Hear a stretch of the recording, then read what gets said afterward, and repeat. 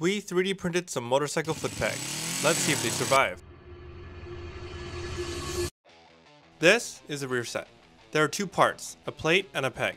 During hard cornering, it can experience over 300 pounds of force from your full body weight and cornering G's. If they broke mid-corner, you'd have a bad day. After modeling the part, we printed it in RCF nylon. Strong, stiff, and perfect for this application. A quick assembly later, we were ready to drag knee. When warming up to drag knee, we actually low-sided the bike. This meant the entire weight of the bike was on that peg, and it survived just fine, but our mic did not.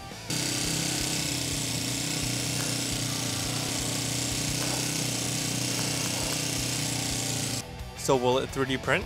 Yes! With how stiff and strong the CF nylon is, the rear set feels just as solid as the OEM one.